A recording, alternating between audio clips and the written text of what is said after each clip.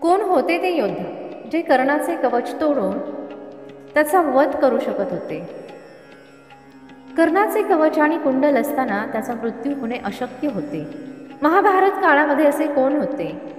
का जे कर्णाच्या कवचाला भेदू शकत होते?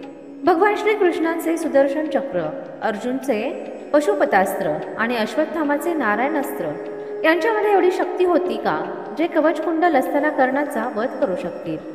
या प्रश्नाचे उत्तर जाणून घेण्यासाठी व्हिडिओ शेवटपर्यंत नक्की पहा. सगळ्यात आधी जाणून घेऊयात की कर्णाचे कवच आणि कुंडल या संबंधित महाभारतामध्ये ऋषीमुनी आणि देव किंवा इतर महान व्यक्तींनी काय म्हटले होते? त्यामुळेच आपल्याला समजेल की ते कवच कोण कोण भेदू शकत होते. महाभारताच्या वनपर्वाच्या तीनशेव्या अध्यायानुसार सूर्यदेव यांनी प्रेमपुत्रामुळे स्वप्नामध्ये कर्णाला दर्शन दिले. त्यावेळी त्यांनी एक ब्राह्मणाचे रूप धारण केले होते.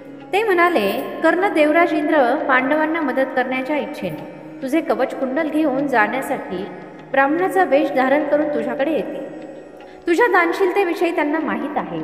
तसेच संपूर्ण जगाला तुझ्या या नियमाविषयी माहीत आहे. की कोणत्याही व्यक्तीने मागितल्यानंतर तू कोणतीही वस्तू दानामध्ये देतो. इंद्रदेवांनी मागितल्यानंतर तू तुझे कवच आणि कुंडल देऊ? कारण जर तू तुझ्या जन्माबरोबरच उत्पन्न झालेले हे कवच कुंडल इंद्रदेवांना दिले तर तुझे आयुष्य कमी होईल आणि तुझा मृत्यू होईल. तुझ्याकडे कवच कुंडल असतील तर तू युद्धामध्ये अभेद्य राहशील. माझं हे बोलणं समजून घे. कर्ण हे दोन्ही रत्नमय कवच कुंडल अमृतापासून उत्पन्न झाले आहे जर तुला तुझे आयुष्य प्रिय असेल तर हे दोन्ही वस्तूंचे रक्षण कर. तू नेहमी अर्जुनशी स्पर्धा करतो. युद्धामध्ये अर्जुन कधी ना कधी तुझ्या समोर येईल. हे कवचकुंडल धारण केलेले असेल तर अर्जुन युद्धामध्ये तुला हरवू शकत नाही. भलेही साक्षात इंद्रदेव त्याची मदत करण्यासाठी आले तरी जर युद्धामध्ये तुला अर्जुनला हरवायचे असेल तर इंद्राला हे दोन्ही कवचकुंडल देऊ नको. तू सूर्यदेवांच्या म्हणण्यानुसार हे कवच आणि कुंडल असते तर कोणालाही कर्णाचा वध करणे शक्य नसते आणि कवच गेल्यानंतर कर्णाचा मृत्यू निश्चित होता.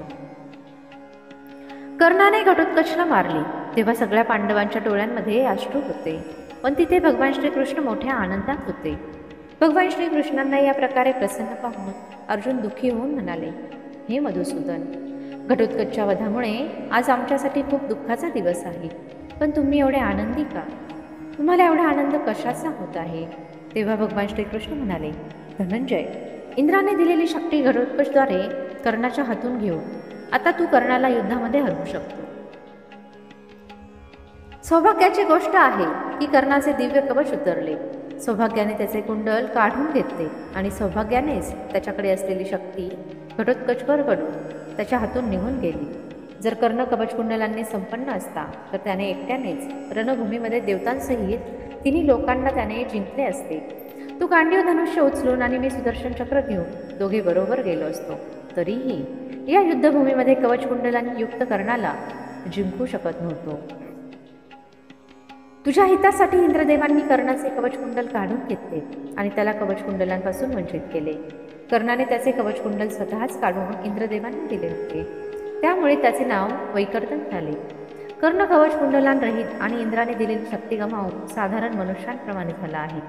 या वृत्तांतामध्येच भगवान श्रीकृष्ण म्हणतात कवच कुंडल असताना सुदर्शन चक्राने सुद्धा कर्णाला पराजित केले जाऊ शकत नव्हते. ही गोष्ट त्यांनी फक्त सूर्यदेवांच्या वरदानाचा मान ठेवण्यासाठी म्हटली होती. जर भगवान श्रीकृष्ण सुदर्शन चक्राने आणि अर्जुनने पशुपतास्त्राने वार केला असता तर कर्णाचा मृत्यू निश्चित होता. भगवान श्रीकृष्णांना कधीही सूर्यदेवांची कीर्ती भंग करायची नव्हती. सुदर्शन चक्राला महादेवांव्यतिरिक्त दुसरं कोणीही थांबू शकतील एवढेच नाही तर अमृत धारण करणारे देवसुद्धा भगवान शिव यांनी अर्जुनला पशुपतास्त्र दिले होते. त्यावेळी तेव्हा असे म्हटले होते की या पशुपतास्त्राविषयी देवराज इंद्र यक्षराज कुबेर वरुण किंवा वायुदेवता यांना सुद्धा माहीत नव्हते. सगळे प्राणी आणि समस्त त्रिलोकांमध्ये असं कोणीही नाही जे त्या अस्त्राने मारले जाऊ शकत नव्हते. त्याचा प्रयोग तर मानसिक संकल्प आणि दृष्टीने बोलण्याने आणि धनुष्याद्वारे सुद्धा करू शकत होते. यापैकी कशानेही त्याचे आवाहन जर केले असते तर शत्रूचा नाश होणे निश्चित होते. महाभारताच्या अनुशासन पर्वमध्ये ऋषी उपमन्यू भगवान श्रीकृष्णांना पशुपतास्त्राविषयी या प्रकारे सांगतात.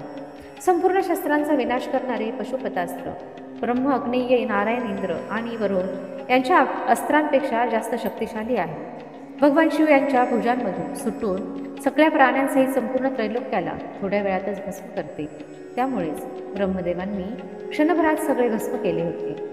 हे श्रेष्ठ अस्त्र परम गोपनीय आहे. त्याच्यासारखे किंवा त्याच्यापेक्षा चांगले दुसरे कोणतेही अस्त्र नाही. या व्यतिरिक्त भगवान विष्णू यांचे दोन्ही अस्त्र नारायण अस्त्र आणि वैष्णवास्त्र अचूक आहे नारायण अस्त्राचा प्रतिकार करणे अशक्य आहे. त्याचा विरोध करताच त्याची शक्ती वाढत राहते. आणि त्याचा केवळ एकच प्रतिकार आहे. आणि तो म्हणजे शस् शत्रू अस्त्र सोडून नम्रतापूर्वक समोरच्याला स्वतःला अर्पण करेल. याचा उपयोग महाभारतामध्ये अश्वत्थामाने पांडव सेनेवर केला होता. आणि काही वेळातच त्याने पांडवांची एक अक्षौणी सेना नष्ट केली. जर भगवान श्रीकृष्णांनी त्यावेळी सगळ्यांना नतमस्तक व्हायला सांगितले नसते तर त्याचे परिणाम आणखीनच विनाशकारी झाले असते. आणि जेव्हा त्याने अर्जुनवर वैष्णवास्त्र सोडले होते त्यावेळी भगवान श्रीकृष्णांनी ते अस्त्र त्यांच्यावर झेलले होते. रामायण काळामध्ये सुद्धा अतिकायचे दिव्य कवच जे त्याला ब्रह्मदेवांनी दिले होते त्याला लक्ष्मणने त्यांच्या दिव्यास्त्राने तोडले होते.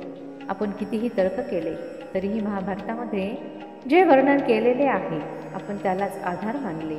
तर कवच आणि कुंडलांसहित कर्णाला हरवू तर शकत होते पण त्याचा वध करणे शक्य नव्हते. आणि भगवान श्रीकृष्णांनी सुद्धा ही गोष्ट अर्जुनला सांगितली होती. आणि त्याचे मुख्य कारण सुद्धा हेच असेल की जर कर्णावर हे महाप्रलयनकारी अस्त्र सोडले असते तर बहुतेक सूर्यदेवांचे मान आणि कीर्तीला आव्हान दिल्यासारखे झाले असते. आणि भगवान श्रीकृष्णांनी त्यांच्या लीलेने हे सगळे आधीच थांबवले. मला आशा आहे की तुम्हाला ही कथा नक्की आवडली असेल. व्हिडिओ आवडला असेल तर व्हिडिओला एक लाईक आणि सबस्क्राईब नक्की करा. आणि कमेंटमध्ये जय श्रीकृष्ण नक्की लिहा.